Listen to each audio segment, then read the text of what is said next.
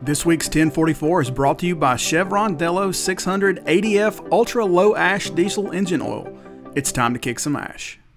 The move to electric vehicles, particularly trucks in the U.S., presents numerous challenges, including electricity supply and demand, EV production, and charging requirements.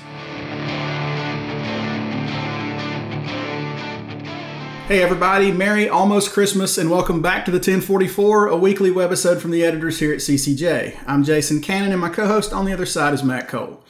Earlier this year, the American Transportation Research Institute released the results of research on the full life cycle emissions of electric trucks compared to a traditional diesel engine and other alternative fuel powertrains. This month, ATRI followed that report up with the results of more research that focused on the infrastructure challenges of EV adoption. To identify the most critical challenges, ATRI reviewed all aspects of vehicle electrification with a focus on trucking. The results of that research turned up three key infrastructure related challenges that will impact truck electrification U.S. electricity supply and demand, electric vehicle production, and truck charging requirements. We are joined by ATRI Vice President Jeff Short, who talks about the research and the uphill climb the U.S. faces with vehicle electrification. Our research advisory committee uh, they saw last year that truck electrification was an increasingly important topic. Enough so that two EV related research studies were selected as top priorities. The first study, which came out in May, looked at vehicle CO2 emissions comparing an electric truck with a traditional truck and found only a 30% decrease in CO2 could be realized across a long haul vehicle's life cycle. That, that includes building the battery, that includes running the vehicle for a million miles and so on and so forth. So it was only a 30% decrease. That was really looking at the truck itself. The goal of this more recent research was to assess the infrastructure requirements of, of the trucking industry and of electrification of the truck. In quantifying those requirements, we ultimately offered insight into the near term feasibility of truck electrification. There's a lot of information out there regarding what will and will not work for trucking. And what we did was find quantifiable answers to many of the questions that have been floating around for years. The first challenge is generation of electricity, of course. For trucking, energy must be reliable, affordable, and available. The price must be predictable and not widely fluctuate throughout the day. With all that said, EVs are going to put an enormous amount of demand on utilities, which could be problematic a second challenge is the materials needed to make the actual electric truck, in particular to make the batteries. We look at the supply and demand of critical materials that included cobalt, lithium, graphite, nickel. Found that a staggering amount of material is needed just for the US fleet, that's the trucking fleet, and for cars as well. And there's global demand to contend with as, as well as that. Third challenge lies with long haul truck charging as you know, there's already a huge problem in the U.S. with, with the truck parking shortage. It is perennially identified by drivers as a top concern through our annual top industry issues survey. So finding a truck parking space is often difficult. Finding finding a truck parking space with a charger is going to be an entirely different ballgame. As Jeff mentioned, EVs are going to put a ton of pressure on the existing power grid and utility companies, leading to the first challenge ATRI found electricity supply and demand. As many of you've heard, uh, we found that U.S. electricity infrastructure is on the older side. It's often exposed to events that cause outages. Uh, they could be weather events, man made events like we had in the past week. At the same time, demand for electricity is going to explode with full electrification. Our calculations indicate that electric vehicle electricity demand itself for all vehicles in the US will equal 40% of what is produced today.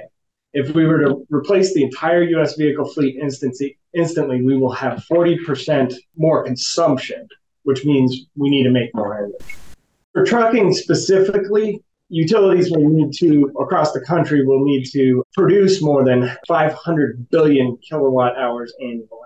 That, for trucking alone, is 14% of the electric, uh, electricity generation.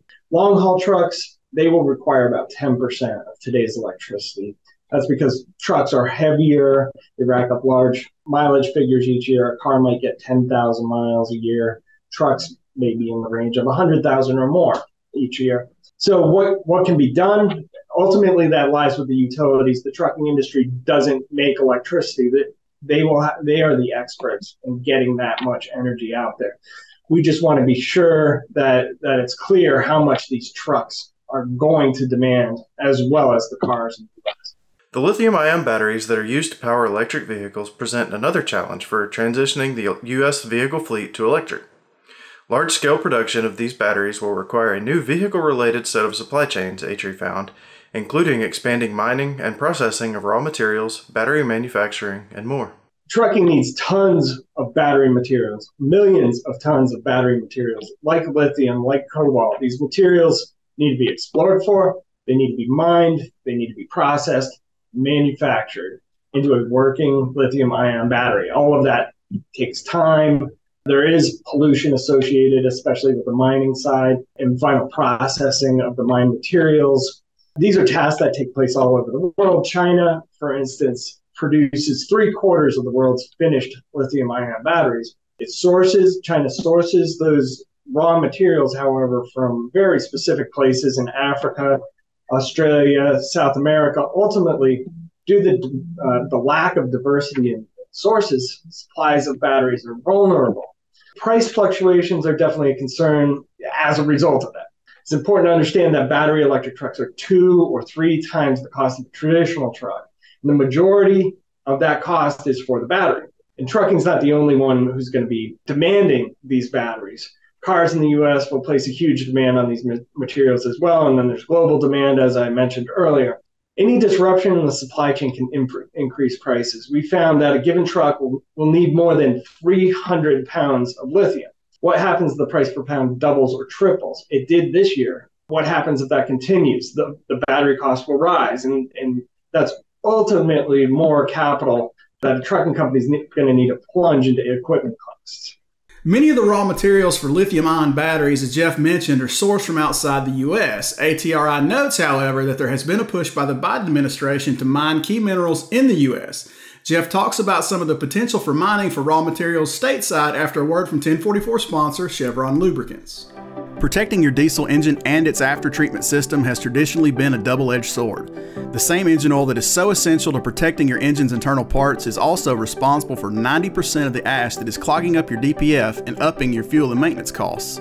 Outdated industry thinking still sees a trade off between engine and emission system protection, and Chevron was tired of it.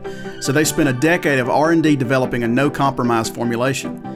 Chevron Lubricants developed a new ultra low ash diesel engine oil that is specifically designed to combat DPF ash clogging. Delo 600 ADF with OmniMax technology cuts sulfate ash by a whopping 60%, which reduces the rate of DPF clogging and extends DPF service life by two and a half times. And just think what you can do with all the MPGs you're going to add from cutting your number of regens. But Delo 600 ADF isn't just about aftertreatment, it provides complete protection, extending drain intervals by preventing oil breakdown. Before you had to choose between protecting your engine or your aftertreatment system, and now you don't. 600 ADF from Delo with OmniMax technology, it's time to kick some ash. There are some options in the United States for obtaining some of these materials domestically the ultimate question is how much do we have? How much are we going to be able to mine ultimately? And beyond that, are there going to be barriers? Because of the regulations in the United States, it may take a little longer. There may be some pushback, perhaps from environmental groups, on large scale mining operations because there is a lot of pollution and it, it does do damage to the earth, especially places where they're they're going to go in and it hasn't been mined yet and certainly it's going to change the environment where the mining operation is, is placed. When it comes to actually charging electric trucks, there are a number of issues that present challenges, including drivers' hours of service regs, the truck parking shortage, and more. They are completely intertwined. When you find yourself behind the wheel of an electric truck, you realize it's now essential to find a truck parking space that has access to charging. There's no longer the option of parking on an off ramp or an unauthorized location if a truck parking location is at capacity. So once the driver finds the space to take his or her hours of service and charge and gain hours of service, they have to stay there. The driver is still going to have to get consecutive rest time. So it may take, let's say it takes three, four hours of charging. They're still going to have to stay there for the rest period. So they're not going to be moving the truck so that someone else can access it this ultimately exacerbates the the truck parking crisis. Uh, there's no way around it. Based on research, it's clear that each of the 313,000 truck parking locations in the US will need a charger. The problem is there's currently not enough parking, and putting chargers at all of those locations won't even be enough charging. Ultimately, we will need more parking and more parking that has electricity access, more than the 313. Not to mention the fact that you cannot have an, a commercial enterprise charging, for instance, at a public rest area. We mentioned that in the report and go into those details. Currently, you're not allowed to do that. So that's at least 40,000 truck parking spaces that have a regulatory barrier to getting a, a, a charger at them. The ultimate question then is Is it even feasible to transition the U.S. vehicle fleet, particularly trucks, to fully electric? It's something that takes time and, and remains to be seen if it's possible. But technology would alleviate some of the pressures associated with these issues. But ultimately, you know, my final message here is the industry is not in the driver's seat on many of these challenges. Though there are discussions of phasing out diesel trucks, requiring the purchase of zero emission trucks, the trucking industry does not produce electricity. We don't produce trucks. We don't produce chargers. We're the end user of these products. And ultimately, utilities, industry suppliers, OEMs, and truck stop operators are going to be the ones who, who need to provide feasible truck electrification options, a system that works for the industry. So it's a big effort and involves a lot of stakeholders, not just truck. That's it for this week's 1044. You can read more on ccjdigital.com, and as always, you can find the 1044 each week on CCJ's YouTube channel. And if you've got questions, comments, criticisms, or feedback, please hit us up at 1044trucking at gmail.com or give us a call at 404 491 1380. And until next week, everybody have a Merry Christmas and stay safe out there.